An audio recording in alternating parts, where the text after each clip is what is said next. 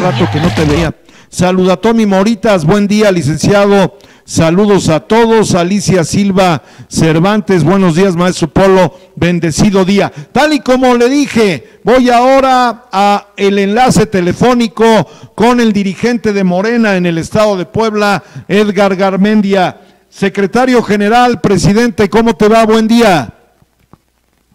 Buenos días, un gusto saludarlo, un gusto saludar a su auditorio y pues aquí estamos dándole todavía al trabajo. Casi no te escucho, eh, Edgar, ojalá pudieras acercarte más el móvil. Edgar, bueno, pues hay múltiples cosas. Eh, ¿Qué actividad está realizando Morena? Hay dimes y diretes en relación a que si se abre la consulta o no. ¿Cuál es la postura de Morena Puebla? Maestro, a ver si ya me escucha. Adelante, Edgar, buenos días. maestro, este, mire, nosotros, digo, que sí existen muchas, muchas posturas, pero nuestros estatutos son muy claros, maestro. A, a los militantes nos toca definir en los congresos distritales quién queremos que nos represente en los distritos y esos consejeros tienen que ir a, un congreso estatal y definir quiénes que, quiénes son los que nos van a representar como miembros del comité ejecutivo estatal y a su vez participar en el Congreso Nacional y elegir a nuestros representantes nacionales. La única manera que contempla que contempla una encuesta el partido es para elegir a los perfiles que van a ser servidores públicos. Ahí sí contempla la encuesta. En cuestión interna no. Digo, las mismas leyes, este, la ley general de partidos políticos nos dice que es asunto de los partidos políticos, pues la definición o la elección de quienes quieren que los dirija y la Constitución también lo dice. Que debe de ser la elección debe de, los partidos políticos deben dar certeza una de que sea el voto libre, secreto y universal los integrantes de los este de los miembros del partido. Entonces, digo que no es una postura radical, pero sí necesitamos que los estatutos se este se respeten. No podemos decir a que los estatutos se respeten cuando a mí me conviene y cuando no debemos abrir este y de pasar por alto los estatutos. No, los estatutos fueron creados para respetarse y llevarse a cabo. Sí, claro, y solamente con una reforma interna es como se pueden variar. Sin embargo, Edgar Garmendia, dirigente de Morena en el estado de Puebla, hay un fallo reciente del Tribunal Federal Electoral. ¿Qué dice ese fallo? Es lo preocupante, que nos dice que, que al tribunal da un fallo de que la encuesta, debe de existir una encuesta para la renovación del presidente y del secretario general y la encuesta debe ser abierta. Ah, interpretándolo tal cual como lo dice el tribunal, nos dice que todas las personas pueden participar independientemente de su filiación este partidista, ya sea del PRI, del PAN, del PRD, todos deben de, pueden inmiscuirse en la vida interna de un partido. Digo que eso es lo grave que, que no seamos los militantes que elijamos quienes queremos que nos representen y quienes queremos que nos dirijan. A nosotros como partido y a través de la convocatoria que invite la comisión, este, el Comité Ejecutivo Nacional nos dice que sí, que es una encuesta abierta, pero a los militantes. Ahí sí se tiene que hacer, con un muestreo de los 300 distritos electorales este, federales para poder elegir a nuestro presidente o presidenta o secretario y secretaria general del partido.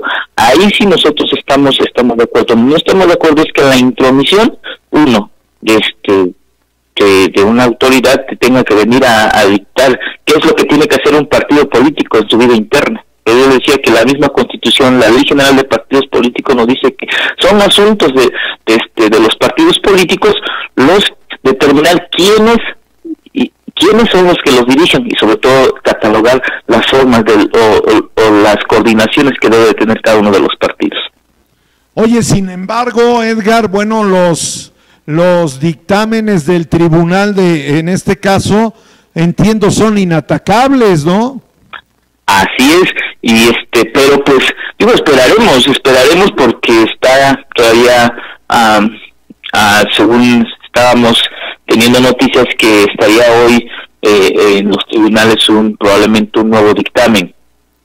Estamos esperando y creemos y tenemos la confianza de que pues los los magistrados van a van a recapacitar y van a y van a y van a definir que eh, los militantes son los que tengan que definir quiénes son los que los que dirijan este el partido político entonces eh, ah, estamos ahora sí en la espera de quiénes son de cuál sea el resolutivo porque también tendríamos el inconveniente. Quiénes son los que podrían participar en esa en esa encuesta de Mirta todos no no solamente si dicen que nada más los cinco que son los perfiles que más han sonado pues también estarían violando los derechos políticos de muchos de muchos este militantes de Morena al cual también pudieran inscribirse.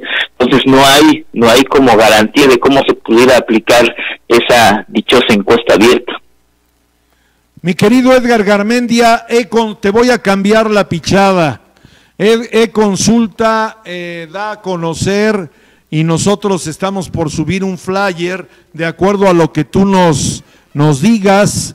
E-Consulta señala que se vuelve a instalar una mesa igual que hace ¿qué? tres años, dos años, cuando fue la, la elección de Andrés Manuel López Obrador para definir candidatos a diputados federales, a diputados locales y a presidentes municipales y e-consulta señala que tu delegado nacional y el senador Alejandro Armenta, pues son los ganones. ¿Qué hay al respecto, Edgar? No existe ninguna mesa política. Digo, la vida institucional de un partido político, estamos hablando de respetar los estatutos, respetar la institucionalidad de un partido, de la vida interna de un partido político, es lo que debemos de hacer.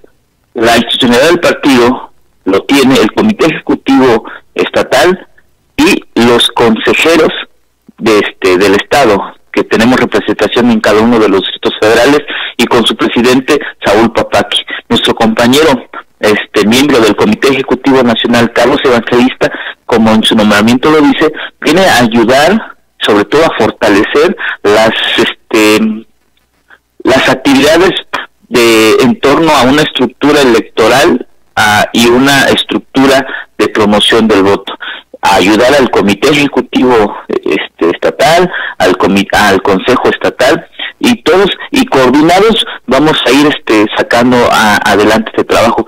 Y por otra parte ah, tenemos ahorita ahorita en esta en este momento pues la situación del del este, la convocatoria a, la renovación de, los órganos de dirección uh, si ese es el primer momento que estamos viviendo. El segundo momento ya sería para este el, 2021. Entonces nos estamos adelantando todavía muchas cosas, cosas que todavía no existen, este maestro. Entiendo entonces que lo que señala e-consulta lo desmientes, dirigente. Así es. Así es, nuestro compañero Carlos Evangelista viene a, coordinar los trabajos con el Comité Ejecutivo Estatal, con el Consejo Estatal.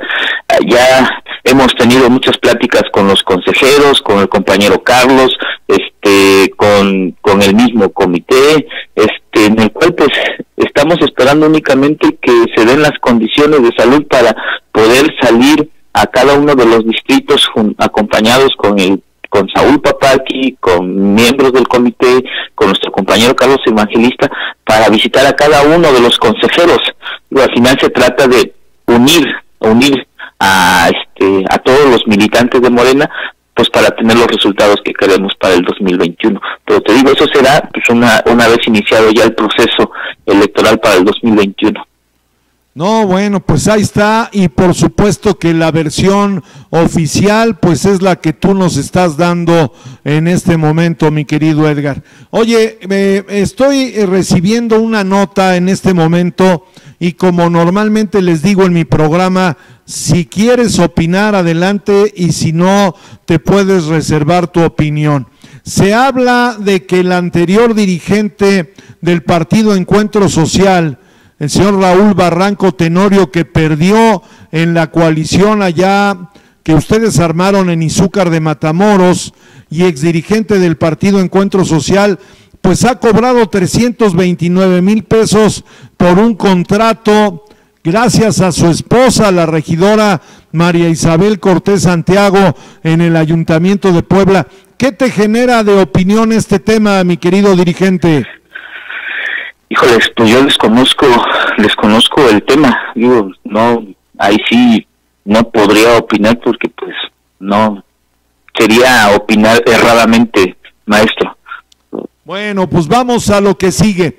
¿Qué está haciendo entonces Morena en este momento, Edgar Garmendia? Ahorita seguimos teniendo contacto con nuestros compañeros todavía a través de la este de los medios electrónicos, a través de reuniones virtuales. Ah, pues se trata de, seguir fortaleciendo nuestra estructura de promoción y defensa del voto. Ah, digo, más allá de todo lo que pueda venir, nosotros vemos que existen ah,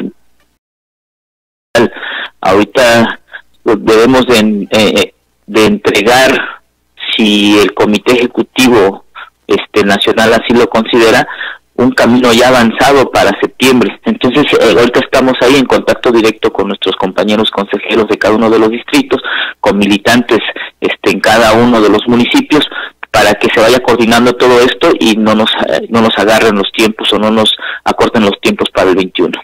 ¿La pandemia afectará el proceso político electoral, mi querido Edgar, y afectará también el formato de las campañas? Yo espero que no. Yo espero que, que, este, tengamos que tener ya las condiciones para que este, en, cuando se vayan a dar ya el proceso de precampañas, campañas, este, sí, la jornada electoral, ya existan las condiciones adecuadas para que nuestros, este, nuestros compañeros militantes acudan a participar en este proceso. Bueno, pues estamos pendientes para ir dándole seguimiento a la actividad que tú realizas, Edgar Garmendia, dirigente de Morena en el estado de Puebla. ¿Algún comentario final, por favor? Pues que seguimos trabajando, digo que hay muchos muchos compañeros que, que opinan que que hoy es el momento en que tengamos que abrir las puertas para que puedan decidir un cambio diferente a nuestro partido y nosotros consideramos que es el momento de los militantes de Morena. Es el momento que nosotros debemos de tomar las riendas y demostrar por qué se construyó Morena, respetar nuestros principios, nuestros estatutos. O sea, no podemos tener estatutos a modo que cuando me convengan este, sean favorables a mí y cuando no, pues los desechamos. No, es el momento de defendernos y es el momento de los militantes. La esta transformación lo hicieron los militantes y es el momento que debemos de retomar estas riendas. Sin duda alguna, creo que ya llegó la hora de la militancia en Morena. Vemos a muchos cuadros que pues eh, por un lado llegó tu partido al ejercicio del poder, pero muchos cuadros se quedaron afuera, mi querido Edgar. Así es, y yo creo que este es el momento de que ellos tengan que retomar esa, ese liderazgo que tienen en cada una de sus regiones, en cada municipio, en cada distrito local, en cada distrito federal, nuestros compañeros militantes son los que hoy, hoy se debe de valorar lo que han hecho a lo largo de este tiempo de formación del partido. Y va a su momento, estoy seguro de eso. Estamos seguros de que así será. Edgar Garmendia, secretario general con funciones de presidente de Morena en Puebla, te mando un abrazo. Igualmente, maestro, excelente día, ¿eh? un gusto saludarlo y un gusto saludar a su auditorio. Gracias, ahí está la postura de la dirigencia de Morena en el estado de Puebla. ¿A qué voy, producción?